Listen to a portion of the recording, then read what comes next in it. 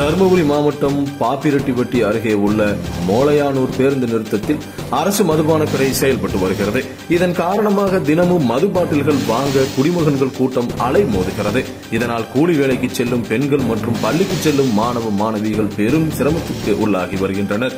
ஆண்கள் வேலைக்கு செல்லாமல் மதுபான கடை அருகிலேயே இருந்து வருவதாகவும் இதனால் தங்கள் வருவாய் இழப்பு ஏற்படுவதோடு குடும்பம் நடத்துவதில் பெரும் சிரமம் ஏற்பட்டு வருவதாகவும் கூறி ஐம்பதற்கும் மேற்பட்ட பெண்கள் திடீர் கடை முன்பு முற்றுகையிட்டதால் பரபரப்பு நிலவியது.